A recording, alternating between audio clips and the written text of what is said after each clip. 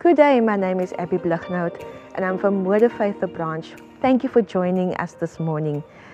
You know, today, in today's society, um, we read so much about emotions and how to not run with our emotions many times, but we must be careful to keep our emotions in check.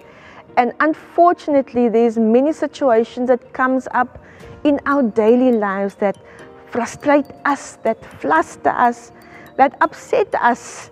You know, some, they say that the people closest to you will upset you the most. Or we go through many times of stress. But when that happens, we should declare like the psalmist said in Psalm 116 verse 17. It says, Return to your rest, O my soul, for the Lord has dealt bountifully with you. And I'm going to read the scripture again in, in the uh, New Living Translation. It says, Let my soul be at rest again, for the Lord has been good to me. Um, you know, David, you know, wrote such amazing psalms, and it just speaks to the initiative he took to speak to himself when he went through a time of stress. You know, he often spoke to himself uh, it's almost like he was saying, hey, stay calm. You know, um, speak, he, he spoke to his soul. Be at rest, oh my soul. You know, he reminded himself that God has blessed him tremendously and there was no need for him to ups be upset.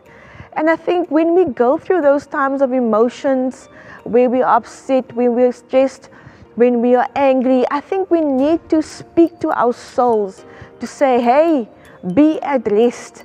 God is good to us.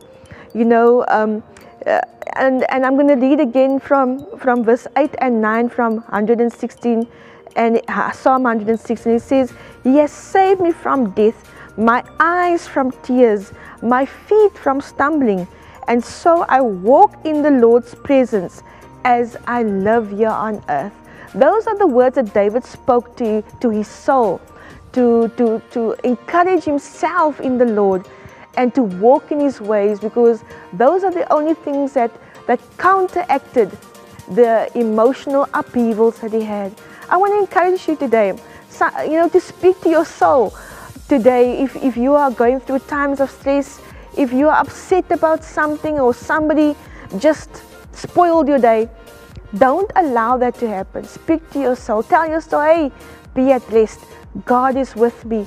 He's walking with me and He will keep me in peace today in the name of Jesus. Won't you pray with me? Father, I thank you today that your word is so clear and, and it's such a wonderful guidance for us in our daily living that when we experience time of emotional upheaval, that what we can do is to speak to our soul. Let us remind ourselves that you are in control and what you've done for us. Let the peace of God cover us today, and uh, we will uh, and we will make a decision that no one will come and spoil our day. We will not get unnecessarily upset today, because we carry your peace with us. In Jesus' name, Amen. May you go in the peace of God, and may you realize that hey, declare the peace of God wherever you are in Jesus' name. See you next time.